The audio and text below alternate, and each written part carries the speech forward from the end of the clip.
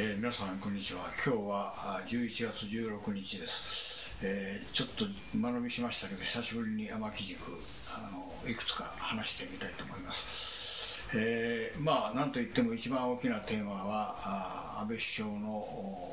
北方領土返還2島先行返還ですね、えー、プーチン大統領と首脳会談をしました、えー、これについてはいくつかの非常に重要な点があります。まず第1点ですけども、えー、まあいずれにしてもあの共通して言えることはですね安倍首相とプーチン首相の首脳外交のですね力の差が歴然とした、えー、ということです。つまりあの全てはですね、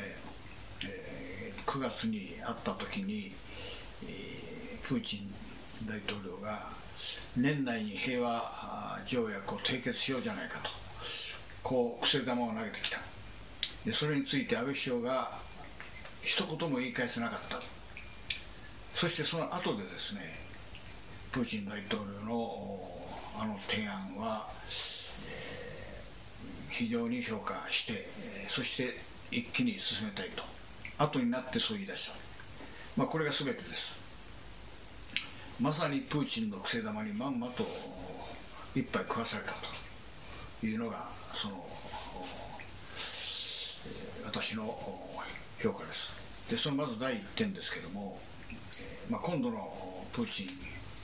大統領のとの会談でですね安倍首相は早々と切り札を切ってしまったと。つまり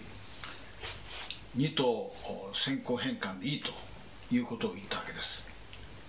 でそれで物事が進めばまだいいでしょう。しかしプーチン大統領はですねなんとそのその後で単独で記者会見をした時にですね、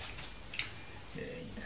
1956年の日ソ共同宣言は確かに交渉の基礎だと。しかしあの共同宣言でですね2党返還すら主権その他何も決まっていないとこう言ったわけです。でこれにはですねさすがに日本の関係者全員が腰を抜かしたと。つまり完全にこれまでの了解から一歩後退したわけですね。さあこれをどうするか、まあ、これが第1点の見どころです。